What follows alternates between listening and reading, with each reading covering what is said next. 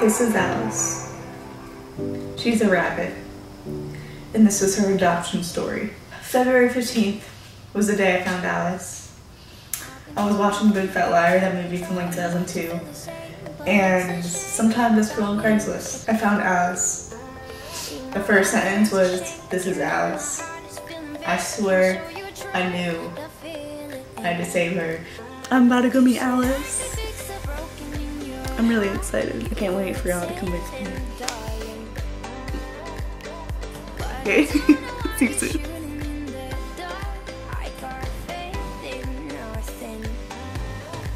Oh, Alice, how I love you. I got Alice.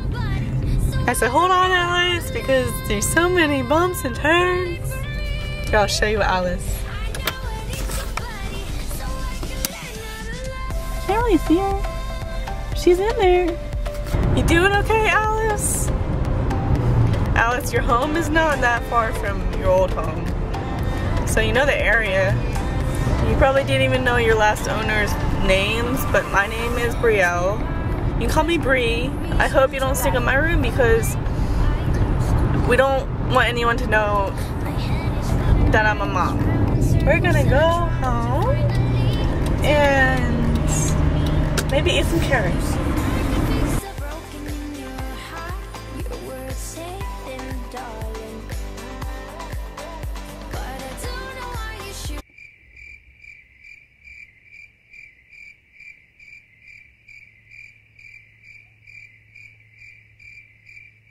But then things started going downhill.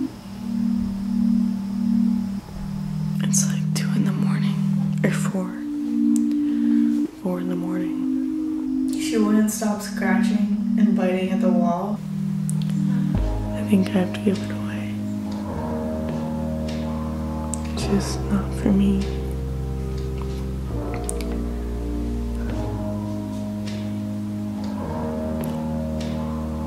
I feel bad because it's probably traumatized.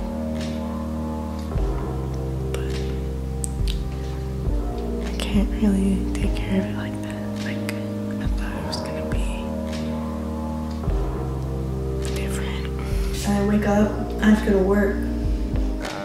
Um, so I found this big cardboard box. I put her in there. I said, here's some spinach, here's some food, here's some water. I come home. I just got home from work. Gonna check on Alice. I'm thinking about her all day, honestly. I opened the door, she's stiff as a board. Stiff as a board. And um, I think she was really scared. And I was like, all right, um, I need to do something with this rabbit. I hit up my friend, he says he'll take her. He has kids, so perfect scenario. And here she goes. Alice, I'm gonna take you home.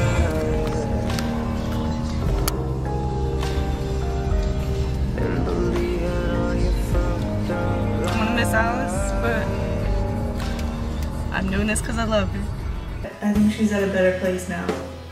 And I'm happy that I got her out of where she was and put her in where she's at now. Because I think she needs to heal from that old environment and it feels funny without Alice. I've only had her for I only had her for less than 24 hours and um, I miss her. If you're thinking about getting a pet, wait until you're ready until you have the means and the time to take care of them. So um, that's the story about Alice, how I owned a pet for less than 24 hours. That's all I have to say. Thanks for watching.